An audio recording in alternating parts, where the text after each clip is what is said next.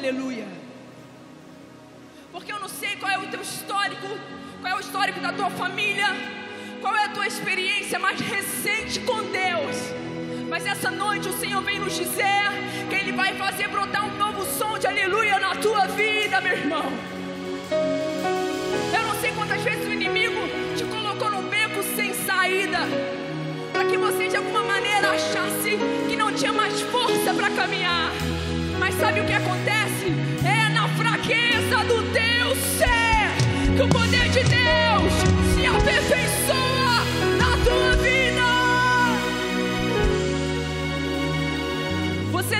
precisa ter forças, é só confiar no Todo-Poderoso. É Ele que te sustenta. Ele é rocha inabalável debaixo dos teus pés. Não dormirá o guarda de Israel. Fiel, fiel. Eu não sei se você entrou nessa noite, nessa igreja, convidado por alguém, e você não tem a menor ideia do que nós estamos falando aqui na frente. Mas nós profetizamos nessa noite na tua vida que a partir daquilo que você tem vivido aqui no Comep, o Senhor vai salvar o teu coração, vai trazer salvação não só para você, mas para toda a tua casa. E se poderá ouvir um novo som de aleluia através de você. E você vai poder dizer: Eu e a minha casa serviremos ao Senhor eu e a minha casa serviremos ao Senhor. E no lugar da tristeza, o Senhor te dá um óleo de alegria. E no lugar da tristeza, Ele te dá vestes de louvor. Nós profetizamos um novo som. Diga comigo, um novo som. Um novo som. Será que você pode profetizar sobre Anápolis declarando um novo som? Um novo som sobre a nossa nação brasileira.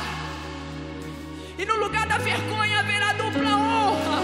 E onde abundou o pecado, superabundou a graça. É um novo tempo sobre o Brasil.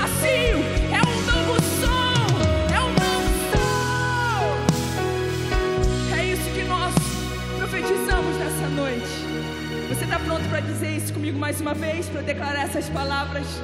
Para ser profeta de Deus sobre essa terra, sobre a nossa nação? Vamos dizer mais uma vez?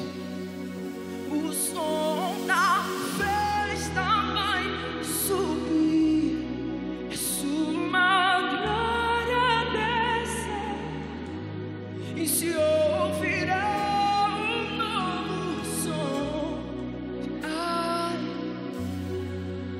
uma vez, declare: o som da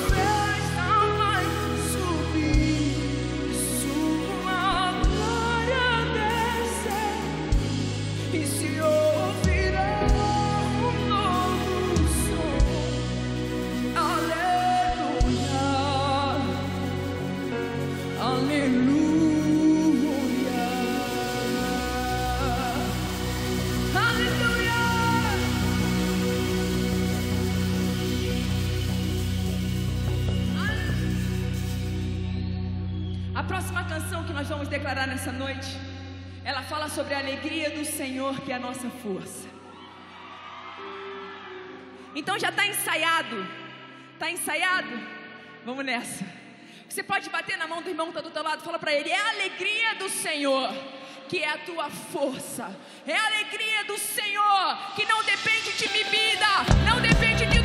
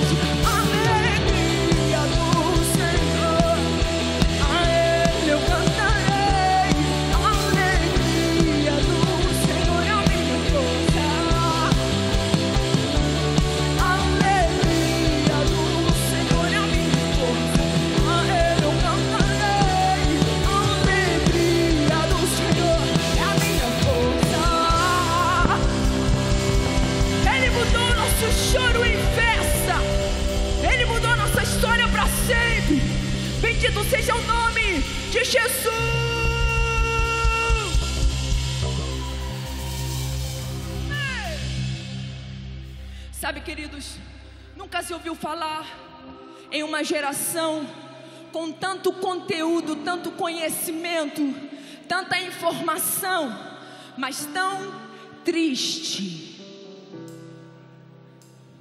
Tão conectada, mas ao mesmo tempo tão desconectada.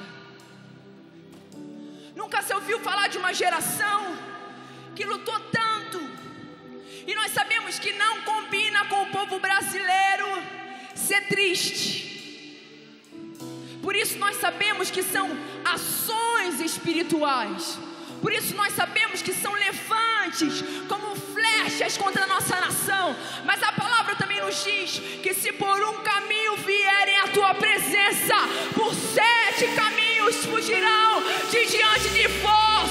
E nós declaramos que esses espíritos que têm lutado contra a alegria do povo brasileiro, que batam retirada, sete caminhos estão abertos para que esses espíritos corram da nossa nação. Livre, livre é o nosso povo brasileiro para viver na alegria do Senhor. Temos ouvido tantos relatos de suicídio, tentativa de suicídio e cada vez um diagnóstico mais precoce. Cada vez são com idades mais reduzidas, com pessoas com menos idade. Mas a palavra do Senhor nos diz que uma geração contará a outra geração os grandes feitos do Senhor. E baseado nessa palavra, nós declaramos a nossa juventude, sobre os nossos adolescentes: vocês não vão se matar, vocês não vão morrer, mas vocês vão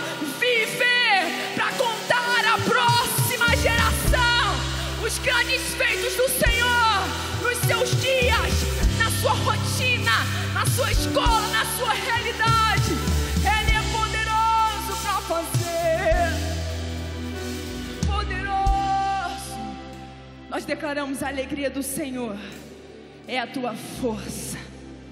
Será que você pode lembrar dos teus colegas de trabalho, os teus colegas de escola? Os teus amigos da faculdade que têm lutado contra esse espírito, que têm enfrentado dias de depressão, que têm lutado com o fato de não se matar, de não tentar contra a sua própria vida. Será que você pode ser boca de Deus, profeta do Senhor no teu lugar e declarar a alegria do Senhor te sustenta nos dias de tristeza, a alegria do Senhor te guarda, te guarda, te guarda. Você vai viver para contar à próxima geração os grandes feitos do Senhor. Os grandes feitos do Senhor. Será que você pode agradecer ao Senhor pelo livramento dEle? Porque é Ele quem guarda a nossa geração, é Ele quem dá livramento à nossa geração, é Ele quem nos sustenta, é o Senhor, toda a glória, toda a adoração.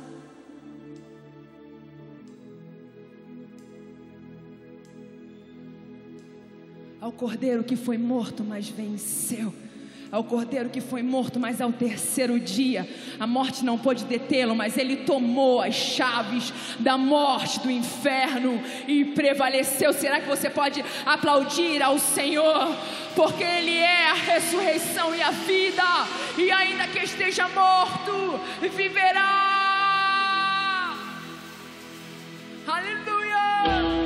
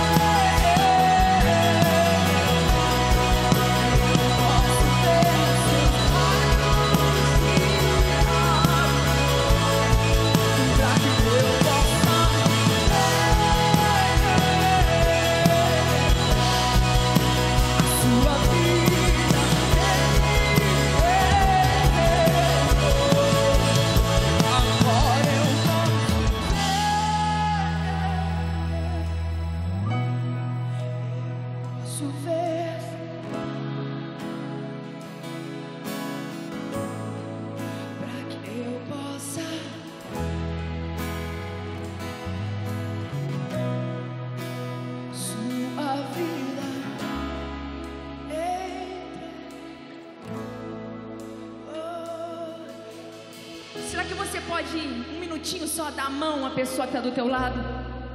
A palavra nos ensina que o Senhor mudou a sorte de Jó enquanto ele orava pelos seus amigos.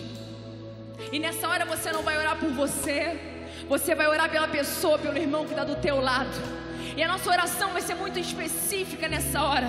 O nosso clamor vai ser um só, vai ser, Senhor, abre os olhos do meu irmão para que ele veja, para que ele reconheça, para que ele perceba o teu amor. Não queremos gastar, desperdiçar o nosso tempo com outra coisa.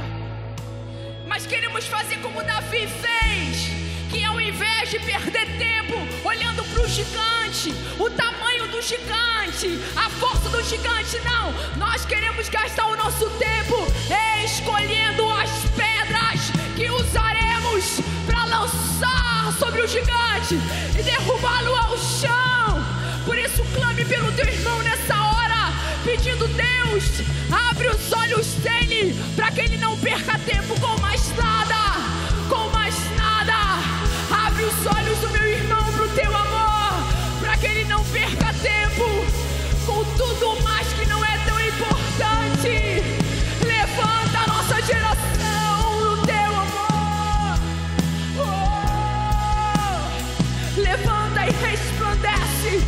porque já vem a tua luz e a glória do Senhor vai nascendo sobre ti.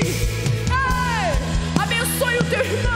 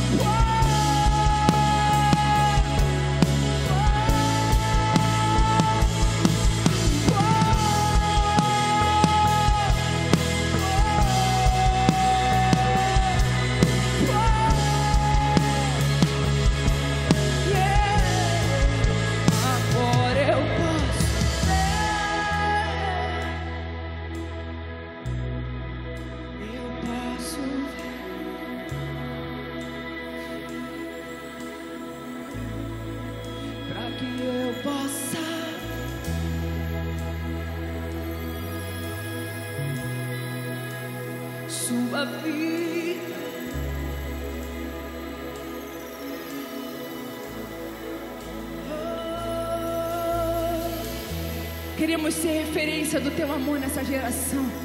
Queremos ser um reflexo para a tua glória. Cristo em vós, a esperança da glória.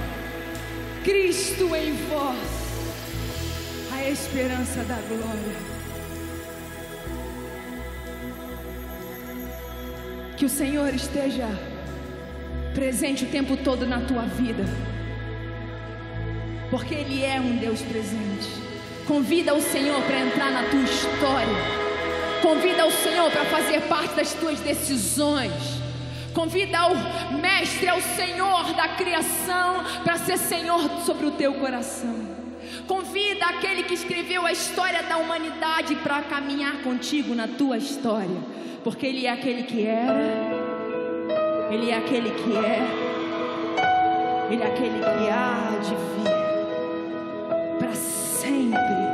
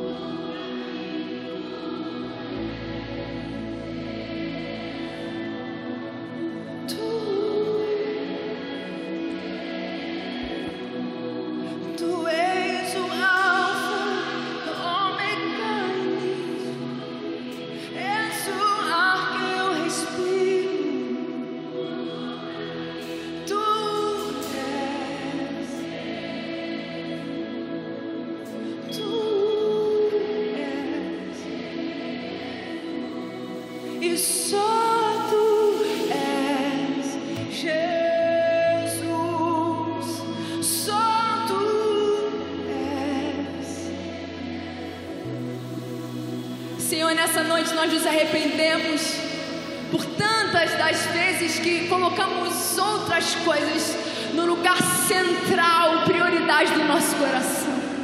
Nos arrependemos que, quantas vezes quisemos dirigir, governar, conduzir o nosso barco, fazendo a nossa maneira, escrevendo a nossa própria história. Quando a tua palavra diz que o Senhor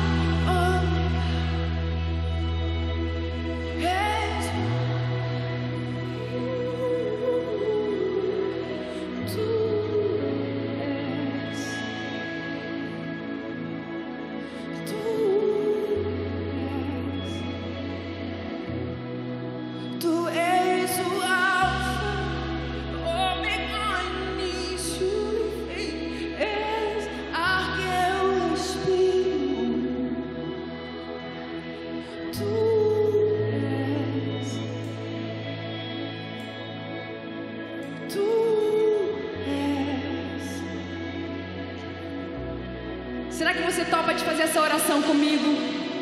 Senhor, governa sobre o meu futuro. Eu não quero decidir a minha própria vida, eu quero viver para ti. Já não vivo mais eu, mas Cristo. Cristo. Você pode dizer isso comigo? Cristo vive em mim. Cristo vive em mim. E nós vamos fazer juntos essa oração. E profeticamente nós estamos representando a nossa geração. Declaramos que apesar de toda falta de expectativa que eles têm a respeito dessa geração, o Senhor continua sonhando conosco. O Senhor continua no governo da nossa história e juntos nós vamos fazer essa oração nessa noite. Sejas tu Senhor da nossa vida, Senhor da nossa casa, Senhor da nossa geração, e nós te daremos toda a glória, e nós te daremos toda a glória, aleluia.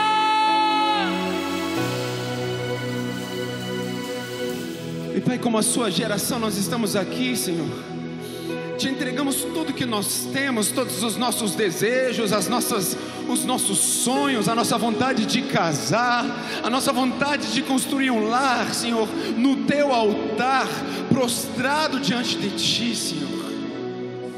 Que essa, que essa conferência possa ser um marcos nas nossas vidas, onde que o nosso vício se, se muda, onde que nós não mais somos ou estaremos prostrados perante a pornografia, e sim a, a te cultuar, a te adorar, a, te, a nos prostrar diante de ti, a não buscar a desejo da nossa carne, e sim aquilo que vem do alto, Deus. Que a gente possa ser uma geração que se concentra em ouvir a Sua voz, que a gente possa quietar a nossa alma meio a tanto barulho para tentar te ouvir, Senhor. Ouvir o teu propósito para mim e para minha casa. Para que eu não venha correr atrás dos meus sonhos, mas sim dos teus sonhos para mim. Que o Senhor venha ser o Alfa e o Ômega na minha vida. Que o Senhor venha ser o tudo para mim. Não mais meu namorado, minha namorada, meu trabalho, a minha faculdade não, que o Senhor venha ser tudo na minha vida. Eu entrego tudo a Ti, Senhor. Mais uma vez estamos aqui porque entregamos tudo a Ti. Para onde mais nós iríamos se só Tu tens as palavras de vida para nós? E é isso que nós queremos, Pai. Como mocidade, nós queremos dizer que o nosso coração é Teu nos blinda, Senhor, nos blinda da feitiçaria, nos blinda, Senhor, da paixão que não vem de Ti, para que a gente não venha perder a nossa mocidade em vãs relacionamentos, e que a gente sim possa estar focado naquilo que vem do Senhor para nós. Que a gente possa se voltar, Senhor, ao teu chamado para nós, focado naquilo que vem do alto, focado naquilo que o Senhor tem preparado para mim. E sabe, o Senhor coloca muito forte no meu coração que vai começar a partir de você. Sabe, nem todo mundo tem uma família ou um lar cristão, onde que está tudo, tá tudo bem. Talvez papai nem sempre está muito legal com você, mas sabe, vai começar a partir da sua vida vai começar a partir do seu relacionamento, do seu namoro, depois casamento, os teus filhos. Pode começar a partir de você. E que você venha lembrar isso, a memória mesmo. Que a partir desse período Deus está fazendo algo novo em você. Onde que o seu desejo talvez vai, você talvez até vai estranhar porque isso aconteceu comigo. Onde que o meu desejo sumiu de ver Netflix, perdeu a graça nada contra. Mas chegou uma hora que perdeu a graça que eu voltei a ler, a me prostrar, algo que eu fazia com os meus 14 anos. E lá Deus se revelava a mim e aquecia a minha alma, e eu voltava a ter comunhão com o Pai, e como aquilo fez bem para mim, como aquilo tirou meu agito. Eu acredito que hoje é um, é um dia de mudança, de transformação para você, onde que os teus focos estão mudando, não mais o namoro, não mais a faculdade só, não, aquilo que vem do alto. E a palavra de Deus ela nos promete: buscar primeiro o meu reino, o reino de Deus, e demais as coisas. Tudo, tudo, não só alguma coisa. Tudo Ele te prometeu. Eu quero te convidar a você fechar os seus olhos. Eu quero orar sobre você. Pai, que essa noite venha a ser uma noite de transformação, selada. Eu quero pedir, Senhor, que o Senhor possa nos libertar de todos os vícios. Eu quero que todo mundo, todo mundo está de olho fechado, então ninguém vai se expor aqui. Se talvez o seu pai, o seu tio, a sua namorada está vendo, eu quero que você que tem dificuldade, você que tem batalhado com um tipo de vício, eu quero que você levanta a sua mão e depois você pode abaixar. Eu também estou de olho fechado. E vou te explicar por que todo mundo de olho fechado, porque a área espiritual ela está fazendo uma mudança aqui hoje. Se nós nos arrependemos, Ele é fiel. O nosso Pai, Ele nos ama, Ele não é aquele Pai que condena a gente pelos nossos pecados, não. Ele deu tudo o que Ele tinha para que você possa ter comunhão com Ele. Então hoje, quando você fala assim, Pai, eu tô, tô com um desafio, tá difícil para mim nessa área. Ele vê e ele admira a sua posição, ele faz uma nova história, ele cria uma nova história, para que quando você hoje à noite deitar no seu travesseiro e a área espiritual falar que você é um nada, que você é um pecador inútil, você pode falar: não, eu levantei a minha mão e sou uma nova história. Uma nova história vai acontecer na minha vida, na minha casa.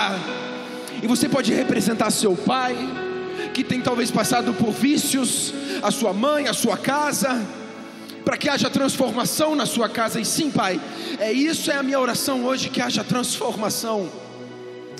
Uma transformação de mente, onde que a gente de novo venha estar focado nas coisas que vêm do alto, aonde que nós em toda a nossa criatividade, em toda a nossa vontade de ser feliz, e onde que a gente acha que só a faculdade tem isso para nós, não, nós queremos dedicar todos os nossos dons, todos os nossos talentos para Ti, seja nas artes, seja no teatro, seja no louvor, Senhor, haja transformação hoje aqui,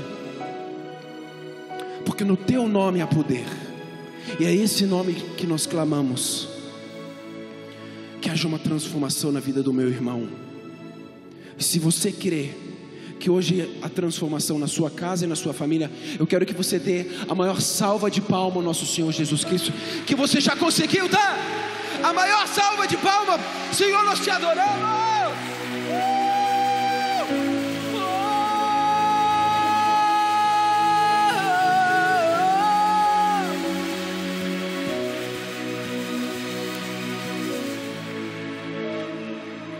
O Senhor nos chama agente de transformação.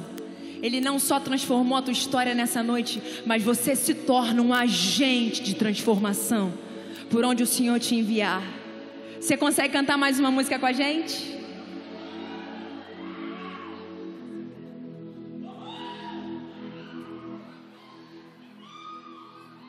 Jesus.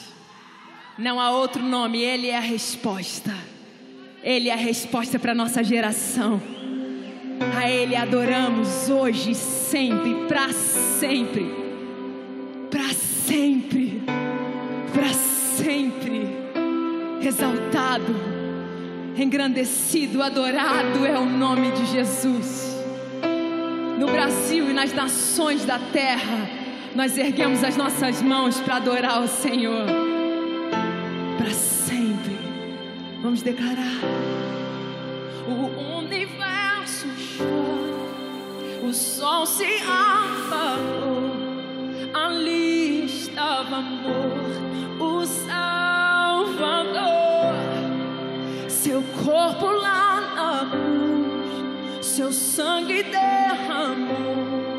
E o peso do pecado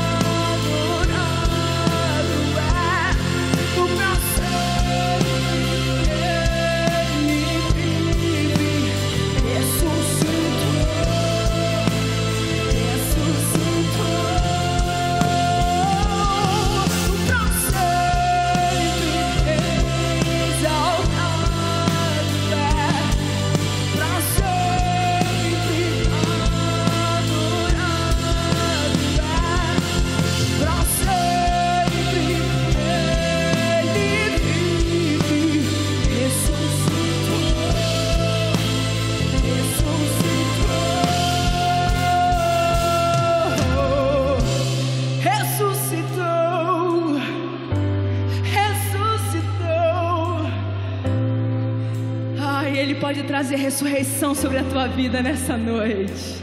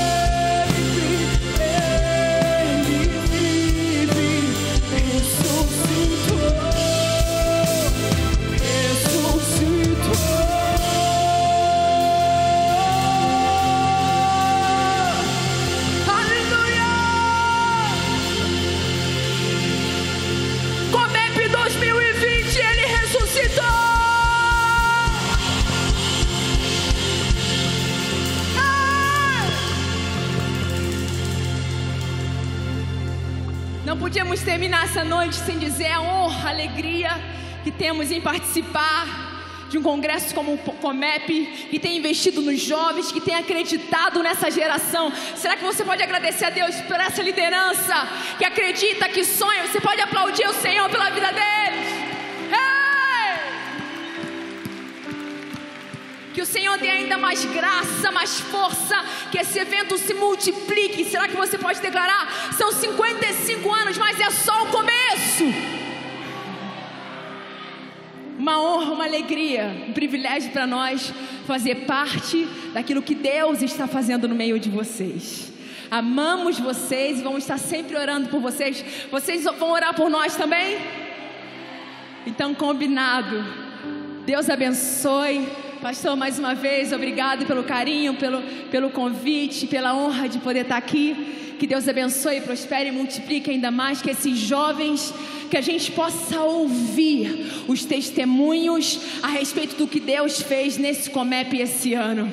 Você vai compartilhar, você vai falar, você vai dizer para alguém os testemunhos que você vai viver a partir desse Comep. Não guarde para você, mas vem, vem, vem contar para a gente para que a gente possa espalhar tudo o que Deus está fazendo e já fez esses dias. Mas amanhã tem mais. Amém? Que Deus abençoe. Vão na paz do Senhor. Amamos vocês.